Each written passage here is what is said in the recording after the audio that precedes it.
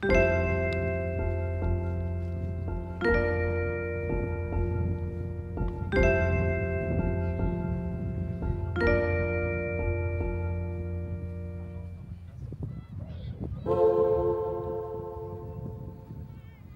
取砂丘に行ってみましょう。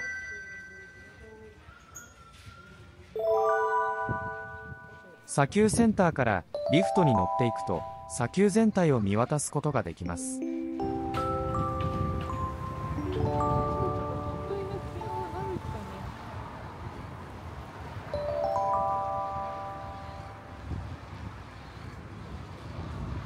鳥取砂丘は山陰海岸沿いにあります。その広さは東西 16km 南北 2.4km です。リフトを降りたらまずは砂丘を降りその前に出てくる馬の背と呼ばれる標高 46m の壁を登りましょう。砂丘の砂の感触などが確認できます。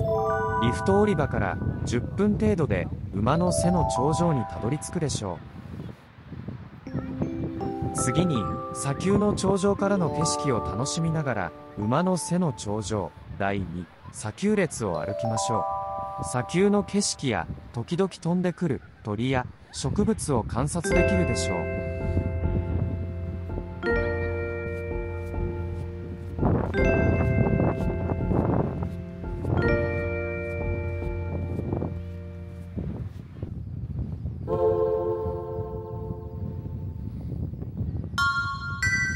全体で30分もあればゆっくりと鳥取砂丘が散策できるでしょう。